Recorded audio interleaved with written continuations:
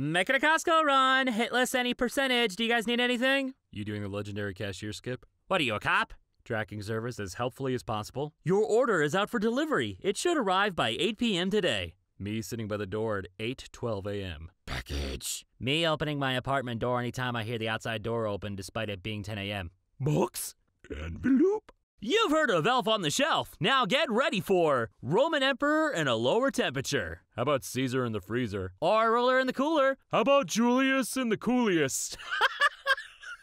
Julius in the coolest. The second best pun I've ever encountered in the wild was when I was walking down the street in a hip part of Seattle and saw a couple of Budweiser cans thrown in a bush. And I said to a random stranger walking nearby, Damn, the local beer harvest is really poor this year. And the random stranger responded, Give it time, they're only buds. Yo, I'm pretty sure Toph's dad is Nicolas Cage. Son of a boomy. No, no, no, no. No, no, no, we're not doing this. We're going to steal the Declaration of Ba Sing Se. Ocean's 11, but the mark is one of those underground government cheese caves. Is is this English? I'm screaming. What does this mean? I said exactly what I meant.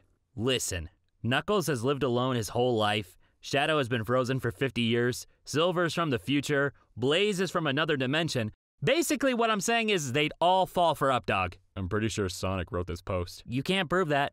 Consider this. Being fat and chubby is okay and good. Sources? Me looking at myself and going, nice. Dude, in an alternative timeline, Homestuck is popular in the mainstream and there's Funko Pop figures of all the trolls. Mmm, horrible. Dude, Vriska variants are Hot Topic exclusives. This post honestly gave me a huge reality check. Like, I think I have a tendency to live in a bubble, and sometimes I like forget that things are well known on the online and not necessarily so on the offline, as it were.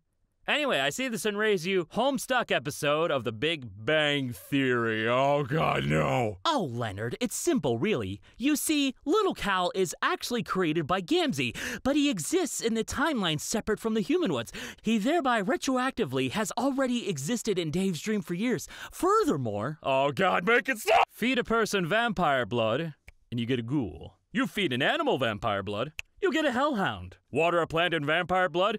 well, you get a mandrake. Fill up your car with vampire blood? Probably good things. Let's try it. Coming this Halloween from Sci Fi Vampire. Oh, dear God, no. Quick question How does a human relax? I would very much like to try it right now, please. Mothman! There's no need to feel down, I said, Mothman! Lift that man off the ground! Are ye an R pirate or a yo ho ho pirate? I'm a not paying $600 for Photoshop pirate. Oh, this one's good. One difference between cats and dogs is that dogs do absolutely nothing to mask their clinginess. While cats pretend it's a coincidence that they're in the same room as you 97% of the time. All right, the fact that I'm laying on your face means nothing. Just don't don't read into it, all right?